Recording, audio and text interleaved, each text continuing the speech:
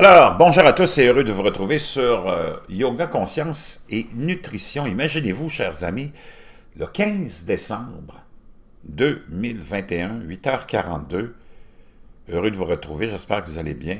Imaginez-vous que le vaisseau Parker, finalement, hein, de la NASA, qui avait été envoyé pour aller étudier le Soleil, vient de toucher pour la première fois le Soleil et a plongé dans l'atmosphère du Soleil. Un vaisseau spatial de la NASA a officiellement touché le Soleil, nous rapporte l'Associated Press aujourd'hui, ce matin, plongeant dans l'atmosphère solaire inexplorée, connue sous le nom de couronne. Les scientifiques ont annoncé la nouvelle mardi lors de réunion euh, de l'American Geophysical Union. La sonde solaire Parker en fait survolé la couronne en avril, lors de la huitième approche euh, rapprochée du Soleil par le vaisseau spatial, les scientifiques ont déclaré qu'il avait fallu quelques mois pour récupérer les données, puis plusieurs mois supplémentaires pour confirmer. Fascinant, excitant, nous rapporte euh, le journaliste euh, scientifique en question.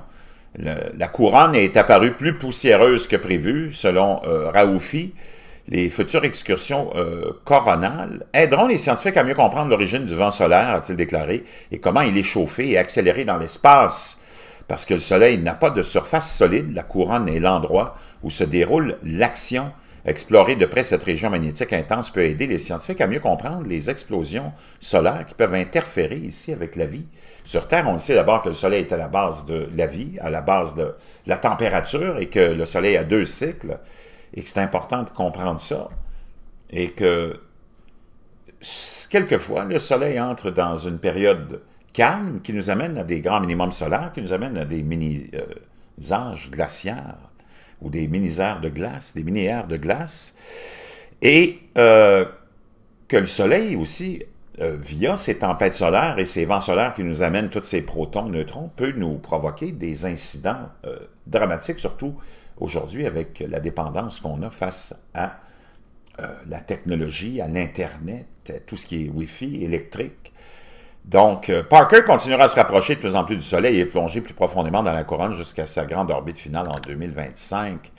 Wow! Intéressant, vraiment intéressant, mais euh, aussi fascinant et épeurant parce que, on ne sait pas, mais probablement, et on en parle de plus en plus dans les médias euh, de masse d'une possibilité d'une tempête solaire qui pourrait nous toucher et qui serait euh, vraiment dramatique et qui nous ramènerait à euh, l'âge de pierre, la super éruption solaire qui risque de plonger la planète dans le noir, c'est Sortira Paris qui nous rapporte ça, envoyé par un abonné que je remercie.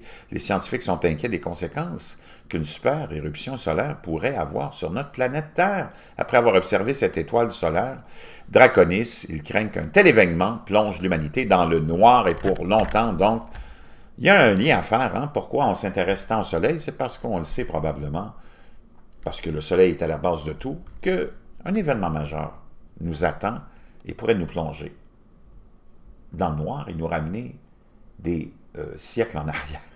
Préparez-vous au pire.